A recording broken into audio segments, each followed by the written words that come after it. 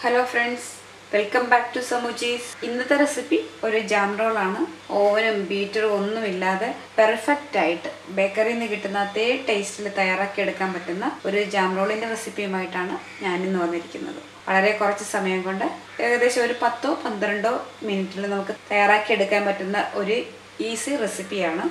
ഇനി jam role തയ്യാറാക്കുന്നതിന് ആവശ്യമായ സാധനങ്ങൾ എന്തൊക്കെയാണെന്നും അതെങ്ങനെയാണ് തയ്യാറാക്കുന്നതെന്ന് നമുക്കൊന്ന് കണ്ടു നോക്കാം. ആ, ജാം റോൾ തയ്യാറാക്കുന്നതിന് വേണ്ടി ഞാനിവിടെ ഒരു നാല് ടേബിൾ സ്പൂൺ മൈദയാണ് എടുത്തിരിക്കുന്നത്. ഒരു കാൽ കപ്പ് മൈദയോളം ഉണ്ട്. അതൊരു പാത്രത്തിലേക്ക് ഇട്ട് കൊടുക്കുക. അതിലേക്ക് അര ടീസ്പൂൺ ബേക്കിംഗ് പൗഡർ ചേർത്ത് കൊടുക്കുക. കാൽ ടീസ്പൂൺ ബേക്കിംഗ് സോഡ ചേർത്ത് കൊടുക്കുക. ഒരു പിഞ്ച് ഉപ്പ്. ഇതെല്ലാം നന്നായിട്ടൊന്ന് മിക്സ് ചെയ്ത് കൊടുക്കുക. ഈ സോഡ ബേക്കിംഗ് പൗഡറും ഈ മൈദയൊക്കെ കൂടെ നന്നായിട്ട് മിക്സ് ആക്കി എടുക്കുക. ഒരു ഒന്ന് രണ്ട് പ്രാവശ്യം ഒന്ന് അരിച്ചെടുത്താൽ മതി കേട്ടോ. അപ്പം ഞാനിതൊന്ന് അരിച്ചെടുത്തിട്ട് കൊണ്ടുവരാം. മൈദ ബേക്കിംഗ് പൗഡറും ബേക്കിംഗ് സോഡയും ഉപ്പും ഒക്കെ ആയിട്ട് നന്നായിട്ട് മിക്സ് ചെയ്തിട്ട് ഒരു രണ്ട് മൂന്ന് പ്രാവശ്യം ഞാൻ ഇതേപോലെ അരിച്ചെടുത്തിട്ടുണ്ട്. ഇനി വേണ്ടത് മുട്ടയാണ്. ഞാനിവിടെ രണ്ട് മുട്ടയാണ് എടുത്തിരിക്കുന്നത്. റൂം ടെമ്പറേച്ചറിലുള്ള രണ്ട് മുട്ട ഒരു പാത്രത്തിലേക്ക് പൊട്ടിച്ചൊഴിച്ചിട്ടുണ്ട്. ഇനി ഇത് നല്ലതുപോലെ ഒന്ന് ബീറ്റ് ചെയ്തെടുക്കണം. ഒരു വിസ്കോ ഫോർക്കോ ബീറ്ററോ ഉപയോഗിച്ചത് ബീറ്റ് ചെയ്തെടുക്കാം. ആദ്യം നമുക്കിതൊന്ന് മിക്സ് ചെയ്ത് കൊടുക്കുക.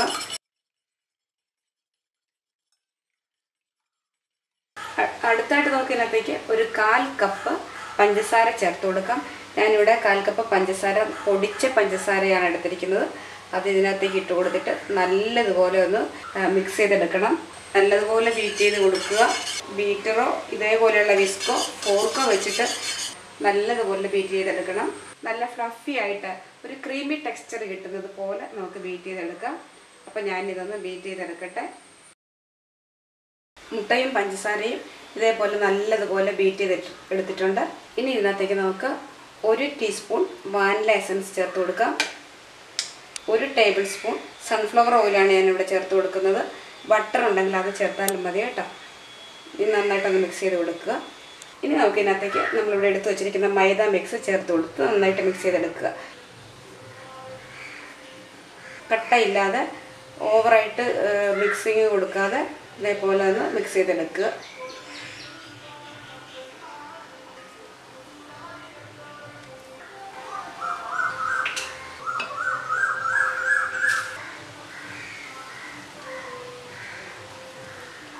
മൈദയും മുട്ടയും കൂടെ ഞാൻ നന്നായിട്ട് ഇതുപോലെ മിക്സ് ചെയ്തെടുത്തിട്ടുണ്ട്. ഇനി നമുക്ക് ഇതൊരു ഫ്രൈ പാനിലേക്ക് ഒഴിച്ചു കൊടുക്കാം. ഫ്രൈ പാനിലാണ് ഞാൻ ഈ കേക്ക് ഇവിടെ തയ്യാറാക്കി എടുക്കുന്നത് ഫ്രൈ പാനിൽ ഞാൻ അല്പം എണ്ണ ഒഴിച്ച് കൊടുത്തിട്ടുണ്ട്. അതൊന്ന് അതിന്റെ എല്ലാ വശത്തും ഒന്ന് സ്പ്രെഡ് ചെയ്ത് കൊടുക്കുക. അതിന്റെ സൈഡിലും അതിന്റെ വശങ്ങളിലും ഒക്കെ ഇങ്ങനെ എണ്ണ നന്നായിട്ട് അത് സ്പ്രെഡ് ചെയ്ത് കൊടുക്കുക.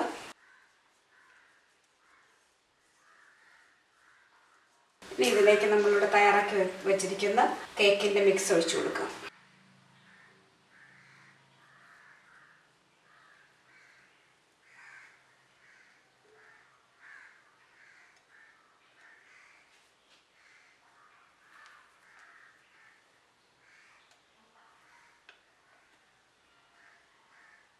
ഒന്ന് ലെവലാക്കി കൊടുക്കുക. കേക്കിന്റെ മിക്സ് ഞാൻ ഫ്രൈ പാനിലേക്ക് ഒഴിച്ചിട്ടുണ്ട്. ഇനി നമുക്ക് ഇതൊന്ന് ഇങ്ങനെ തട്ടിക്കൊടുക്കുക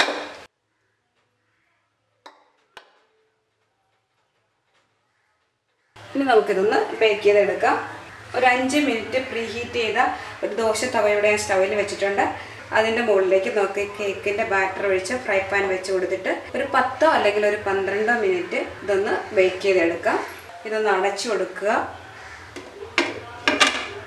ഒരു ചെറിയ ഹോൾ ഉണ്ട് അതും കൂടെ ഒന്ന് അടച്ചു കൊടുക്കണം. ലോ ഫ്ലെയിമിൽ പത്ത് മിനിറ്റ് പത്ത് മുതൽ ഒരു പന്ത്രണ്ട് മിനിറ്റ് വരെ ഇതൊന്ന് ബേക്ക് ചെയ്താൽ മതി. അപ്പോൾ ഇവിടെ ഒരു ചെറിയ ഹോൾ ഉണ്ട് ആ ഹോളൊന്ന് അടച്ചു കൊടുക്കുക. ഫ്ലെയിം ലോയിലാക്കുക ഒരു പത്ത് അല്ലെങ്കിൽ പന്ത്രണ്ട് മിനിറ്റ് കഴിഞ്ഞിട്ട് നമുക്കിതൊന്ന് നോക്കാം. ഇതിപ്പോൾ ബേക്ക് ചെയ്യാനായിട്ട് വെച്ചിട്ട് ഒരു പത്ത് പതിമൂന്ന് മിനിറ്റ് കഴിഞ്ഞിട്ടുണ്ട്. നമുക്കിന്ന് തുറന്ന് നോക്കി ഇത് റെഡിയായാൽ നോക്കാം. അതിന്റെ സൈഡൊക്കെ നന്നായിട്ട് വിട്ടൊക്കെ വന്നിട്ടുണ്ട്. ഇനി നമുക്കൊന്ന് കുത്തി ഒരു ടൂത്ത് പിക്സ് വെച്ചിട്ടൊന്ന് കുത്തി നോക്കാം. നല്ല പെർഫെക്റ്റ് ആയിട്ട് വന്നിട്ടുണ്ട്. ഇതുവരെ ഒന്നും പറ്റി പിടിച്ചിട്ടൊന്നുമില്ല. നല്ലതുപോലെ വന്നിട്ടുണ്ട്. നോക്കിന് സ്റ്റൗ ഓഫ് ചെയ്ത് വെച്ചിട്ട് തണുത്തതിന് ശേഷം ഒരു ബട്ടർ പേപ്പറിലേക്ക് മാറ്റാം. അപ്പോൾ അതിന്റെ സൈഡിൽ നിന്നൊക്കെ നല്ലതുപോലെ വിട്ട് വന്നിട്ടുണ്ട്. കേക്ക് ഇവിടെ നന്നായിട്ട് തണുത്ത് കിട്ടിയിട്ടുണ്ട്. നമുക്കിനി ഇതൊരു ബട്ടർ പേപ്പറിലേക്ക് വെച്ച് കൊടുക്കാം. കണ്ട ഇതിന്റെ അടിവശമൊക്കെ നല്ല പെർഫെക്റ്റ് ആയിട്ട് കിട്ടിയിട്ടുണ്ട്. കരിഞ്ഞൊന്നും പോയിട്ടില്ല. നല്ലതുപോലെ കിട്ടിയിട്ടുണ്ട്. ഇനി നമുക്ക് ഇതിനകത്തേക്ക് ജാം തേച്ച് കൊടുക്കാം. ഞാനിവിടെ മിക്സഡ് ഫ്രൂട്ട് ജാമാണ് എടുത്തിരിക്കുന്നത്. ഒരു രണ്ട് മൂന്ന് ടേബിൾ സ്പൂൺ എടുത്ത് നല്ലതുപോലെ ഒന്ന് മിക്സാക്കി എടുത്തിട്ടുണ്ട്. ഇത് നമുക്ക് കേക്കിലേക്ക് തേച്ച് കൊടുക്കാം.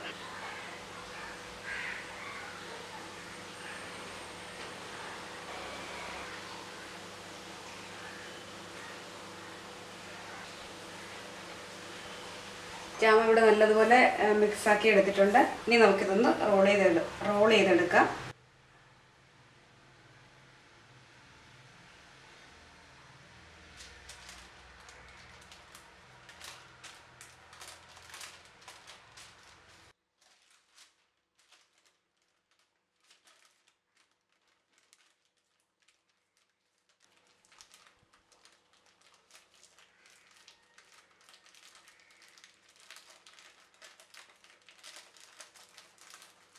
ഇനി നമുക്കൊരു പത്ത് പതിനഞ്ച് മിനിറ്റ് നേരം ഇതൊന്ന് ഫ്രിഡ്ജിൽ വെച്ചതിന് ശേഷം കട്ട് ചെയ്തെടുക്കാം. ഒരു പത്തിരുപത് മിനിറ്റ് നേരം ഫ്രിഡ്ജിൽ വെച്ചതിന് ശേഷം ജാം റോൾ ഞാൻ ഇത് എടുത്തുകൊണ്ട് വന്നിട്ടുണ്ട്. നമുക്കിനി ഇതൊന്ന് കട്ട് ചെയ്തെടുക്കാം. ഇതൊന്ന് സൈഡൊന്ന് കട്ട് ചെയ്ത് മാറ്റാം. ഇനി നമുക്കിതൊന്ന് കട്ട് ചെയ്തെടുക്കാം.